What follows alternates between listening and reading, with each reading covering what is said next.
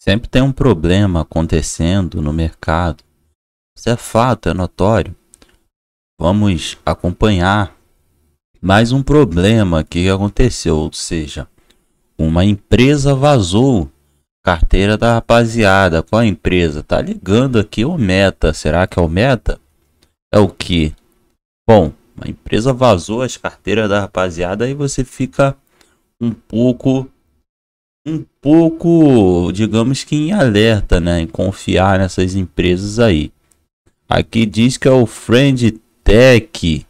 Acho que é isso. Bom, uma espécie de rede social descentralizada, ou seja, uma rede social descentralizada está ganhando tanta popularidade aí quanto os críticos. Bom, embora já tenha conquistado alguns famosos pro lado de lá, parece que deu um problema lá.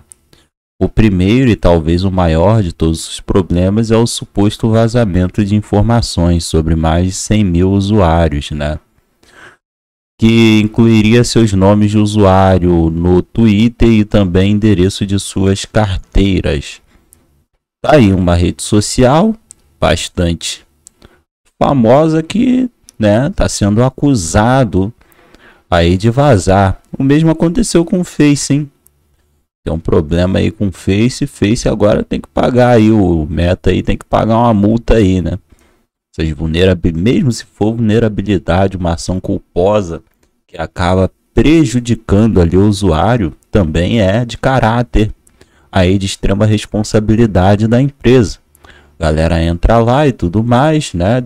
Se diz, né, descentralizada, aquela coisa toda, de repente tem aí o seu, os seus dados vazados de uma forma criminosa. Bom, o site, após você abrir ele, né, pede que você uh, que você acesse, né, a partir de um celular, tudo mais, aquela coisa toda. Em outras redes, ela descreve como sua rede seu patrimônio líquido.